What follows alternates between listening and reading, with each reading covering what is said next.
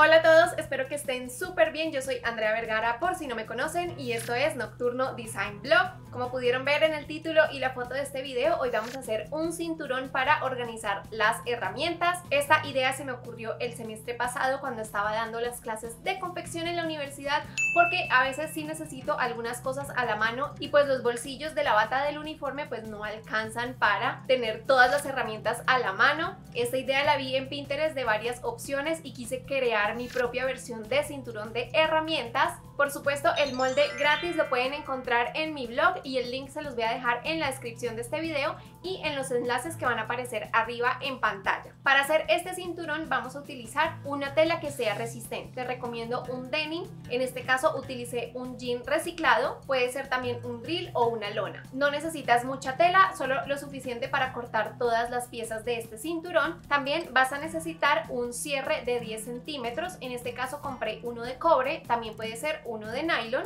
Para el cinturón vamos a utilizar este tipo de hebillas, yo la compré en sus cerrajes y vamos a ocupar un metro de riata que también compré allá del mismo ancho de la hebilla que consigas. Para empezar vamos a utilizar un borrador y un punzón para marcar todos los puntos que vienen en el molde base del cinturón que es la ubicación para todos los bolsillos. Con el borrador y el punzón voy abriendo los orificios y luego con ayuda de un lápiz blanco voy a pasarlos a una de las capas de la base del cinturón. Luego voy a tomar el bolsillo D y también le voy a marcar la posición del cierre que viene en el molde, se la voy a traspasar del mismo modo a la tela. Luego de tener estos dos punticos marcados con ayuda de una regla, marco esa misma línea que me va a indicar la posición del cierre.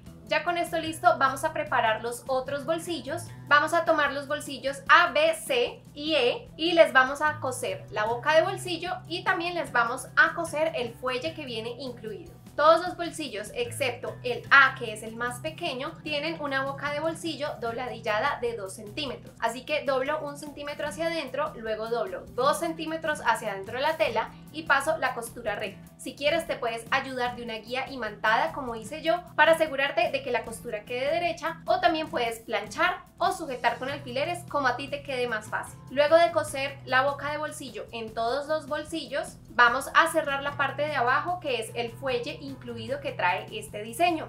Si quieres más detalles de cómo hacer estos bolsillos con fuelle, te recomiendo que veas este video que te sale en pantalla, donde te muestro tres diseños de bolsillo con fuelle y tapa. Y así es como se ve el bolsillo cuando ya lo tengo terminado. El único bolsillo que no trae fuelle es el bolsillo E, que solo le vamos a coser la boca de bolsillo. Cuando ya tengas los bolsillos preparados, vas a planchar muy bien todas las costuras y de paso vas a doblar hacia adentro los otros tres bordes de cada bolsillo un centímetro y lo vas a planchar para ayudar ayudarte a que quede bien posicionada.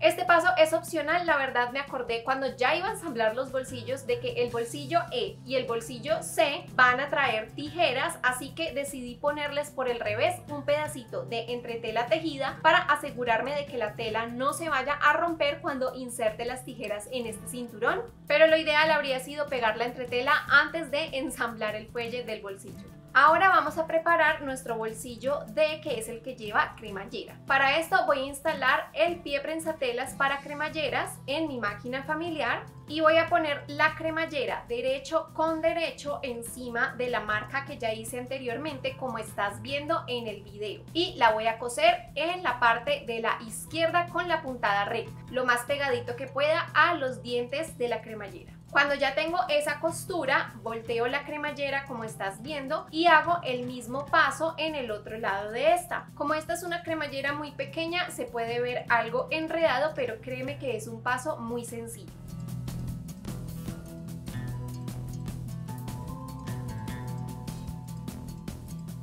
Así es como se ve la cremallera ya cosida en ambos extremos y ahora por el revés me voy a ayudar trazando una línea recta entre las dos costuras para hacer un corte. Cuando llego al final del corte voy a hacer dos piquetes en forma de V. Estos te recomiendo que los hagas con una tijera de punta fina para que queden bien precisos porque deben llegar a un milímetro de donde hicimos la costura que pasamos anteriormente. Cuando ya tengas este corte listo, simplemente empujas la cremallera hacia el revés del bolsillo y vas a acomodar el margen de costura. Vamos a pasarle un pespunte por todo el contorno a la cremallera. Te recomiendo empezar por una de las puntas que ya están cosidas. El pespunte lo voy a pasar con margen de un 16 de pulgada o de 2 milímetros de ancho. Cuando estés cosiendo la parte más larga de la cremallera, asegúrate de que la tela sí esté bien doblada hacia adentro y que te esté quedando bien derecha.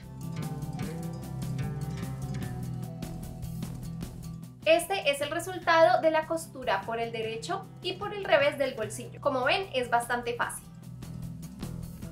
Ahora sí, vamos a cerrar los cuatro fuelles que trae este diseño de bolsillo, también con puntada recta y margen de un centímetro. Luego planchamos hacia adentro los bordes de este bolsillo igual que hicimos con los diseños anteriores.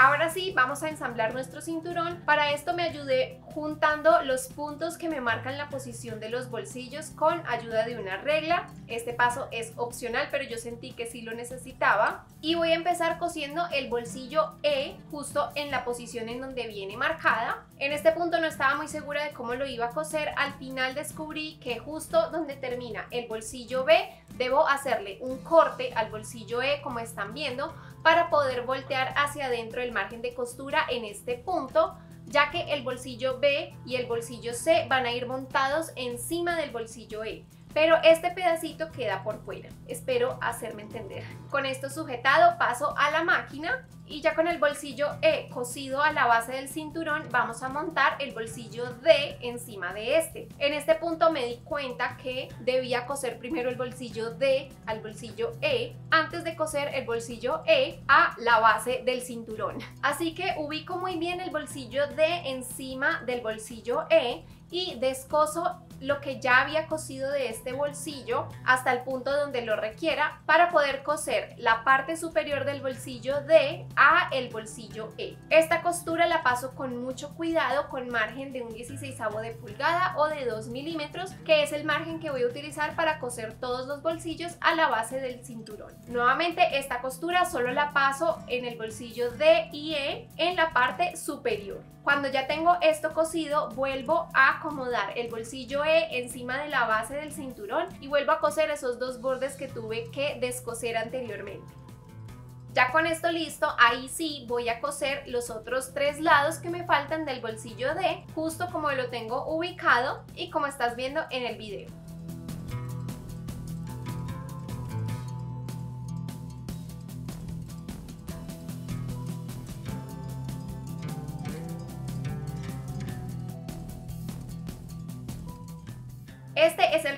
De nuestro primer bolsillo, como ven queda el bolsillo con cremallera y luego tenemos el otro bolsillo que es más largo y más grande para guardar otro tipo de cosas. Ahora vamos a acomodar el bolsillo A y el bolsillo B con varios alfileres en su respectiva posición y con mucho cuidado los voy a coser en la máquina. El bolsillo A es muy fácil de coser, pero ten cuidado al coser el bolsillo B. Cuando llegues al punto donde se conecta con los otros dos bolsillos que ya cosimos, hay que doblar muy bien la tela hacia adentro que nos quede derecha y también que esta costura nos cubra el margen de costura del bolsillo E que quedó libre en el paso anterior. Yo simplemente te dejo para que veas el video para que me entiendas más fácil. Luego voy a acomodar el bolsillo C en la posición donde le toca. El bolsillo se va a quedar un poquito encima del bolsillo B, así que también hay que tener cuidado a la hora de coserlo, que también va a ser con la puntada recta. Y como pueden ver, el borde derecho y el de abajo le dejé el margen de costura desdoblado. El único que doblé hacia adentro fue el que va justo encima del bolsillo D, que también hay que tener cuidado a la hora de coser para que sí quede bien montado y empatado y que se vea perfecta la costura. Con la montada de estos bolsillos ten mucha paciencia y cose a tu propio ritmo. Así es como se ven estos bolsillos más de cerca. Y ahora vamos a pasar a la riata que nos va a ajustar el cinturón. Para esto compré una riata satinada que me pareció mucho más bonita y elegante que una riata sencilla. Si tú no sabes qué es una riata, son las tiras que suelen estar en los tirantes de los morrales, esas que cuelgan en la parte de atrás, eso es una riata. Y la consigues donde venden insumos para marroquinería y calzado. Siempre que trabajes con este insumo te recomiendo quemar las puntas porque estas riatas se deshilachan muy fácil. Aunque le pases una costura muy resistente, esta termina rasgándose porque de verdad que es un insumo que se deshilacha con solo verlo.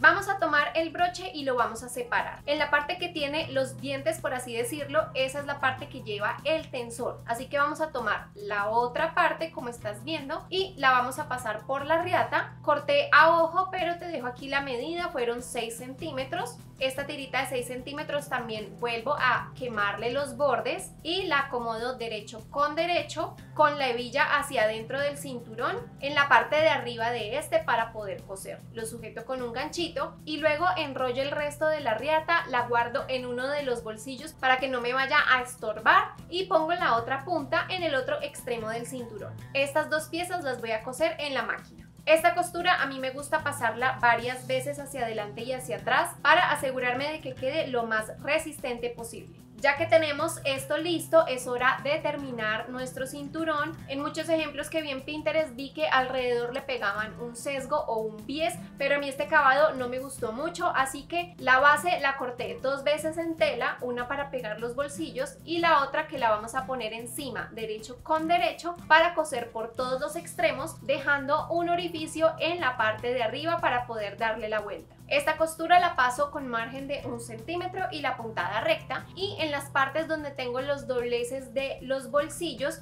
me voy a ayudar con una tiza para marcar este doblez donde lo siento en la parte de arriba y asegurarme de que la costura pase justo al lado de esa marca, así no piso encima el bolsillo pero tampoco dejo un hueco al lado de este, no sé si me estoy haciendo entender pero creo que sí. El punto es que nos quede súper bien forrado el cinturón.